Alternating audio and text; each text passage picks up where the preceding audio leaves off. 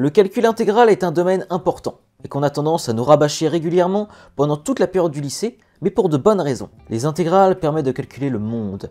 Chaque zone, chaque secteur, chaque continent de notre planète et au-delà peuvent être analysés et numérisés à l'aide de cette majestueuse notion mathématique, afin d'en dénicher tous les mystères, voire même afin d'en dénicher tous les secrets. Sans les intégrales, on sera encore à se nourrir de fines herbes, de pain noir et de graines de soja, tout en creusant des trous dans la terre avec notre nez pour manger des fourmis. Ok, ça va peut-être pas changer notre vie à ce point-là, mais ça sert quand même pour des trucs. Le calcul intégral correspond au calcul d'intégrale, et ça sert à calculer des aires à l'aide de primitives. Parfois c'est simple, il suffit de se baser sur les primitives de fonctions usuelles.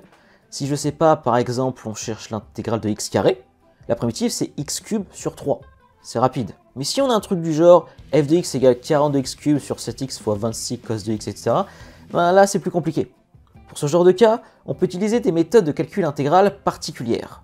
Ici, je vais particulièrement me concentrer sur l'intégration par partie, les changements de variables et l'intégration d'expressions trigonométriques. Et si vous vous demandez pourquoi, bah c'est parce que j'ai pas compris les autres méthodes.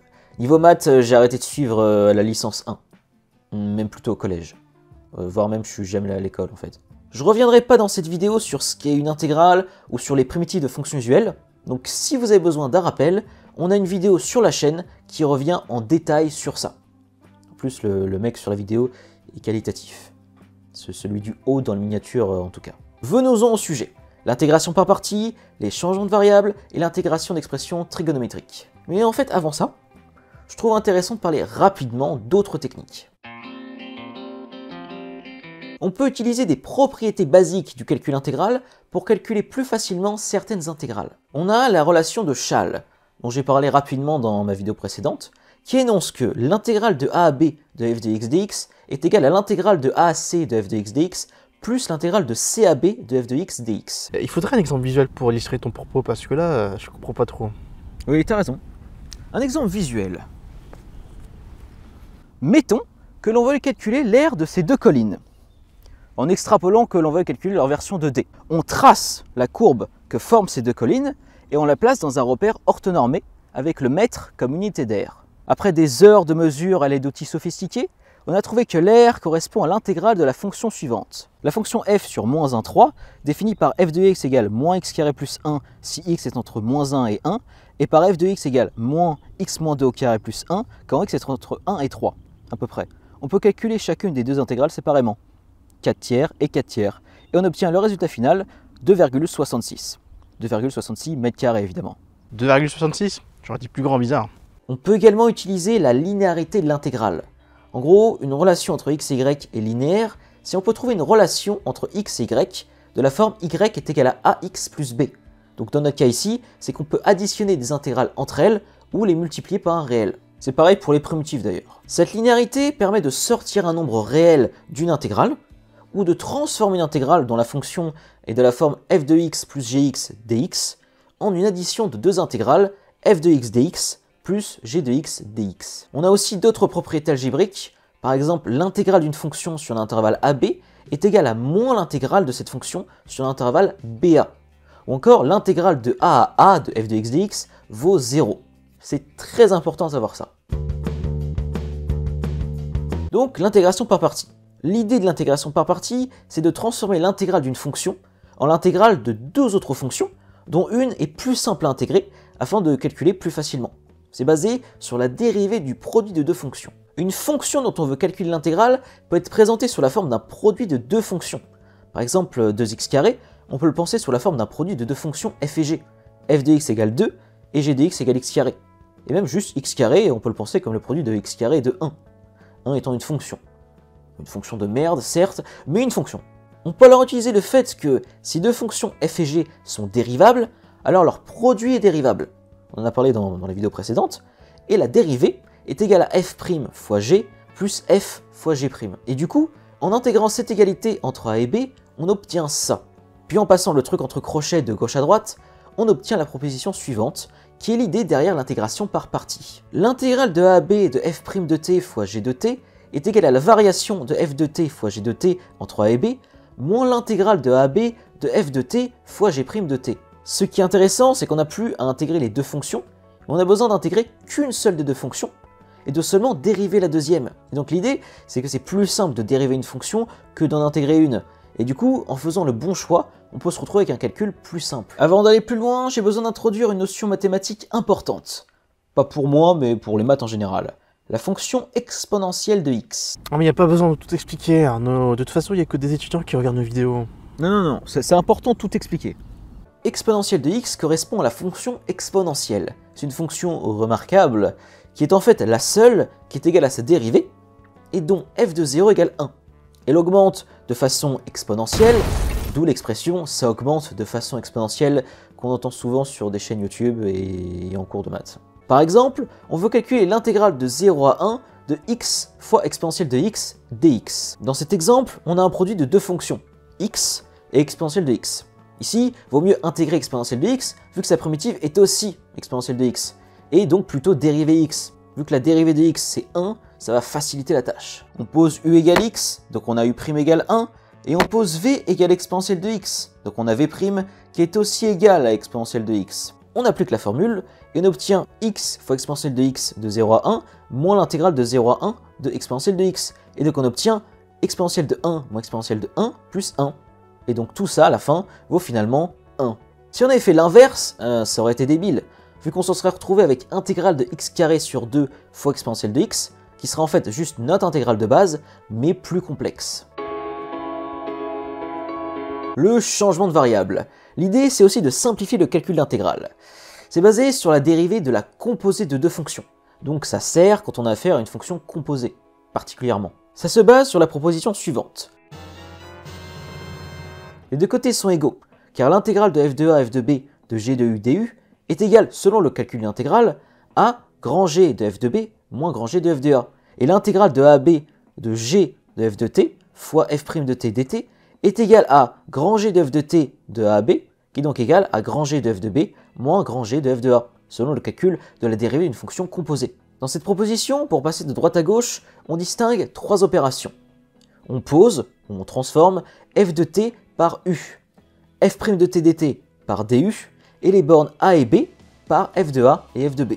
On peut aussi faire ces trois opérations dans l'autre sens, ça marche aussi. Avant d'aller plus loin, j'ai besoin d'introduire une autre notion mathématique importante, la fonction ln de x. Bon, pour la partie ln, tu vas à l'essentiel. Hein. Mais oui, t'inquiète. ln correspond à la fonction logarithme népérien. C'est la fonction qui, à tout réel x strictement positif, associe l'unique solution à l'équation exponentielle de x égale à y.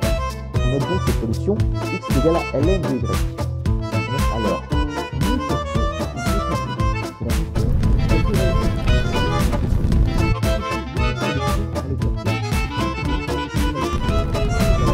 car exponentielle de 1 est égal à e, et que je sais pas... Bon, euh, passe au moment où on 9 a l'exemple de 9. changement de variable, ln. Voyons un petit exemple. L'intégrale de 1 à e de 1 sur 2t fois ln de t plus t dt. e étant égal à la fonction exponentielle e de x quand x est égal à 1. L'idée ici, c'est d'observer que notre intégrale peut être vue comme une fonction composée, donc de la forme g de f de t fois f' de t. Si, premièrement, on pose f de t égale ln de t, qui est égal donc à u, u étant ici notre changeant de variable, et qu'on a donc f' de t est égal à 1 sur t, car la dérivée de ln de t, c'est 1 sur t. Et que deuxièmement, en factorisant notre calcul par 1 sur t, on obtient une fonction de la forme g de ln de t fois 1 sur t, avec g de u est égal à 1 sur 2u plus 1. Et comment se dire, tiens, ce sera utile de factoriser le calcul par 1 sur t avant? Bah, si vous êtes bon en maths, ça se voit, c'est instinctif. Sinon, bah, vous y penserez pas et vous trouverez jamais le résultat. Mais ça vous empêchera pas d'avoir des diplômes et un bon boulot dans l'avenir. Effectuons donc les trois opérations d'un changement de variable. Étape 1, on pose u est égal à ln de t, donc f de t. Étape 2, on dérive u pour avoir du. La dérivée de ln de t est la fonction 1 sur t, donc on a du qui est égal à 1 sur t dt. Donc ici, f' de t dt. Étape 3, on change les bornes. Quand t est égal à a, c'est-à-dire 1, f de a est égal à 0. Et quand t est égal à b, c'est-à-dire e, f de b est égal à 1. Par contre, pour que ce changement de variable soit correct, il faut aussi vérifier que 1, f est bien dérivable sur l'intervalle AB, et que 2, g est bien continu sur l'intervalle f de a, f de b. Et donc, si on factorise la fonction de notre intégrale par f de t dt, on obtient, après avoir fait le changement de variable, intégrale de 0 à 1 de 1 sur 2u plus 1 du. Et donc c'est beaucoup plus simple à calculer, et on trouve comme résultat ln de 3 sur 2. Pour finir, je vais parler rapidement d'une méthode pour calculer une intégrale qui serait de la forme a à b de sin à la puissance p fois cos à la puissance q. Une très belle intégrale. Et d'ailleurs, j'en ai fait un poster Avec euh, ton salaire de YouTube. Hmm. On peut faciliter ce type d'intégration grâce à la méthode du changement de variable que j'ai mentionné précédemment. Distinguons deux cas. Le premier quand P ou Q est impair, et le deuxième quand P et Q sont tous les deux pairs. Premier cas, si P est impair, on pose U est égal à cos de t, et si c'est Q qui est impair, on pose U est égal à sin de t comme nouvelle variable. L'idée c'est d'utiliser la super formule sin carré de t plus cos carré de t est égal à 1, pour obtenir, dans le cas où P est impair, la nouvelle intégrale, intégrale de cos de A à cos de B d'une fonction polynomiale du, ou dans le cas où Q est impair, l'intégrale de sin de A à sin de B de moins une fonction polynomiale du. Pourquoi chercher à avoir une fonction polynomiale? Bah parce que c'est facile d'en trouver une primitive. Par exemple, l'intégrale de 0 à x de sin à la puissance 4 fois cos à la puissance 3 dt. On pose ici u égale sin de t. Sin carré plus cos carré égale 1, ce qui équivaut à ce que cos carré soit égal à 1 moins sin carré. Sinus à la puissance 4 fois cosinus à la puissance 3 est égal à sinus à la puissance 4 fois 1 moins sinus carré fois cosinus, qui est égal à q de sinus fois cosinus, où q de u est une fonction polynomiale qui vaut u à la puissance 4 fois 1 moins u carré, ce qui est donc égal à u à la puissance 4 moins u à la puissance 6. On se retrouve alors avec l'intégrale de 0 à sinus de x de u à la puissance 4 moins u à la puissance 6 du, car du est égal à cosinus de t. Une primitive de la fonction polynomiale u à la puissance 4 moins u à la puissance 6 et u à la puissance 5 sur 5 moins u à la puissance 7 sur 7, car la primitive de deux fonctions a et b est égale à la primitive de a moins la primitive de b, et la primitive d'une fonction de la forme x à la puissance n est égale à x à la puissance n plus 1 sur n plus 1. Notre intégrale est donc égale à sinus à la puissance 5 sur 5, moins sinus à la puissance 7 sur 7, moins 0 à la puissance 5 sur 5, moins 0 à la puissance 7 sur 7, ce qui est donc égal à sinus à la puissance 5 sur 5, moins sinus à la puissance 7 sur 7. Deuxième cas, quand P et Q sont pairs. Il suffit de linéariser l'expression. Linéariser, ça veut dire transformer une fonction contenant des cosinus à la puissance n et des sinus à la puissance n en une fonction contenant des cosinus de a de x et des sinus de b de x, avec a et b entiers. Comme linéariser une expression trigonométrique est assez complexe, j'en ferai une vidéo à part.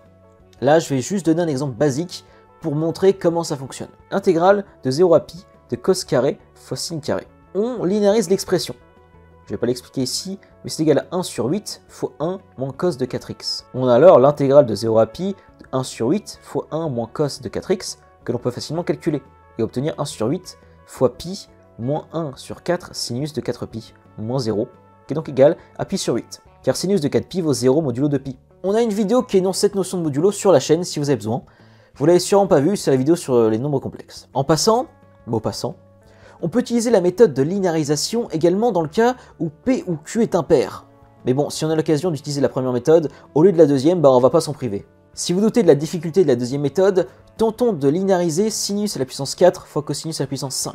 C'est trop chaud pour moi, je vais laisser cette partie à Almine. Alors non, je le ferai pas, mais je propose de demander à Cédric Hulani de le faire pour nous. Non. J'espère qu'avec cette vidéo, vous comprenez mieux certaines méthodes pour calculer les intégrales, car c'est très important dans la vie.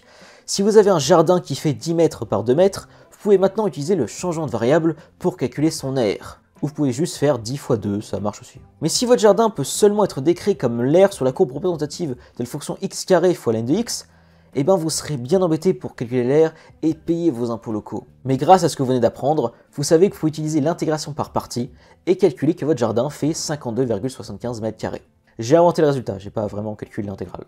Oui, pour 99% d'entre vous, le calcul intégral vous servira à rien, et d'autant plus les méthodes incompréhensibles pour calculer certaines intégrales incompréhensibles. Mais c'est surtout sympa à calculer. Déjà, c'est de la logique, et quand on fait quelque chose de logique, c'est plaisant pour notre cerveau. C'est aussi de l'art. Cette intégrale est par exemple égale à 50. Comment 50 peut produire une telle aire is beyond me? Et l'apprentissage du calcul intégral et des maths en général à l'école permet de filtrer les gens idiots des gens qui ont un avenir. C'est moche, c'est vrai. Mais si vous vivez dans un appartement, il vaut mieux que la personne qui l'ait conçu sache calculer une aire. Cordialement vôtre.